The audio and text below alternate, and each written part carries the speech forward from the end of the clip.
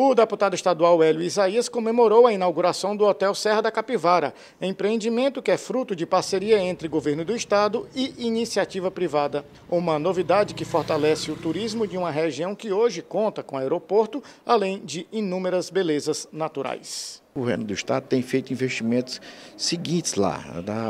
Hoje nós temos um aeroporto de bom porte, né? hoje já temos voos, três voos por semana entre São Raimundo Nonato, Recife e Petrolina. Estamos trabalhando para que esses voos possam se, expandir para Teresina, para São Paulo, para o Rio, para outros destinos. O fluxo né, é, no Parque Nacional é, é, do Museu do Homem Americano tem melhorado bastante, tanto é que o próprio museu mudou o seu horário é, de atendimento ao público e funcionava mais na parte da tarde, já está funcionando manhã e tarde. Né? O número de pessoas empregadas melhorou bastante, chegamos em 23, 2023, com quase 40 mil visitações do Parque Nacional Serra da Capivara e ao Museu da Natureza.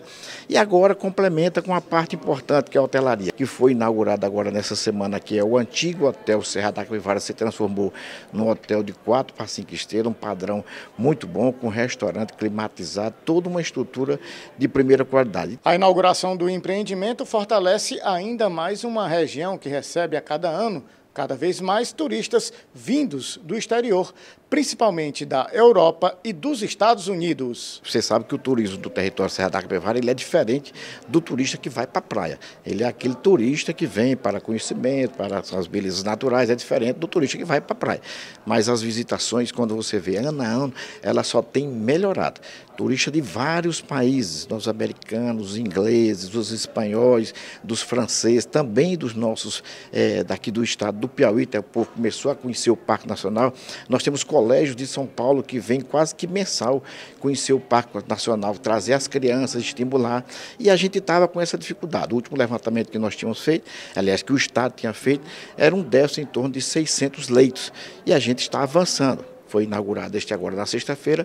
Já temos outros empresários que estão já tratando de investimentos, é, não só no município de São Ramonato, mas também lá próximo ao Parque Nacional, no município de Coronel Zé Dias, e os próprios empresários locais que têm a sua rede já estão também ampliando. Significa dizer que nós estamos em passos, estamos no caminho certo e, e em passos bem largos para a gente desenvolver o turismo da nossa região.